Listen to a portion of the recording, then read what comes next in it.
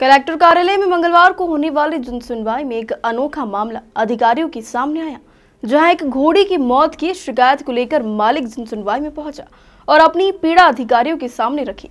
उन्होंने शासकीय वेनेटरी डॉक्टर पर लापरवाही बरतने व गलत दवा के चलते घोड़ी की मौत होने का आरोप लगाया है। दरअसल यह पूरा मामला इंदौर के मांगलिया का है, जहाँ घोड़ी के मालिक ने आरोप लगाया है कि घोड़ी को इलाज के लिए सरकारी डॉक्टर के पास ले गए थे, जहाँ घोड़ी को गलत इंजेक्शन लगाने के चलते घोड़ी की मौत हो गई। जिस पर कार्रवाई को लेकर घोड़ी मालिक कलेक्टर कार्यालय जनसुनवाई में पहुँचा, जहाँ उन्होंने न्याय की गुहार लगाई है।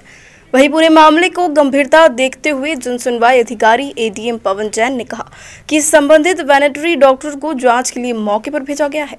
साथ ही मामले की जाँच के बाद उचित कार्रवाई का आश्वासन दिया गया। फ़िलहाल घोड़ी की मौत इंजेक्शन से हुई या दवा से, यह जाँच का विषय है।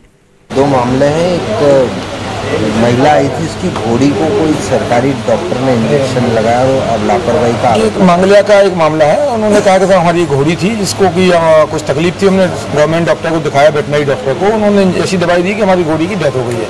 तो doctor DDBS, deputy director, veterinary हैं, उनको जाँच के लिए भेजा है और उनको कहा है कि इसमें पूरी जाँच करें किस परिस्थिति में उनकी घोड़ी मरी है।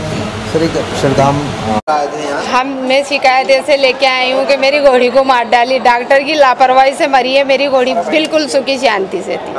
अब बाबू जी इधर उधर भटक रही हूँ। पेट पालन की जो घोड़ी थी वो तो मरी गई। अब मेरे बच्चे बच्ची को कैसे पालूँगा मैं? कुछ भी नहीं हुआ था खाली पेट जरा सा पेट दर्द हुआ तो मैं डॉक्टर के पास ले गई। तो डॉक्टर मेरे को क्या कह रहा कि तुम्हारी घोड़ी को ठीक कर दूँगा ठीक कर दूँगा तो आखिर में उसको मरना पड़ा। इंजेक्शन लगाया? इंजेक्शन लगाए चौदह इंजेक्शन लिया उन्होंने पैसे लिए साढ़े तीन हज़ार रुपये मेरे से। और उसी के लड़के बाप तो डॉक्टर ही इलाज करता है लड़का मेडिकल चलाता है वहाँ मांग लिया। पे अब इधर उधर भटक रही हूँ बाबू जी किधर भी मेरी सुनाई नहीं हो रही जवान बच्चा है मेरा। इसके शादी ब्याह कैसे करूँगा कैसे बच्चे बच्ची को पालूँगा मैं? कब लाए थे घोड़ी मैं लेके आई थी दिवाली के मेले से। ये सारन खेड़ा से दो लाख रुपए की। आठ हज़ार रुपये भाड़ा लगा था बाबू जी और उसको पाल रही थी मैं। तो मनी गया सीज़न चलेगा।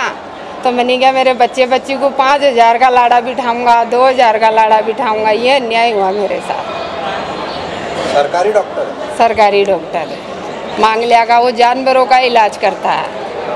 ये ऐसा हुआ बाबू जी अब तुम देखो। आप अभी शिकायत की तो क्या बोले अधिकारी?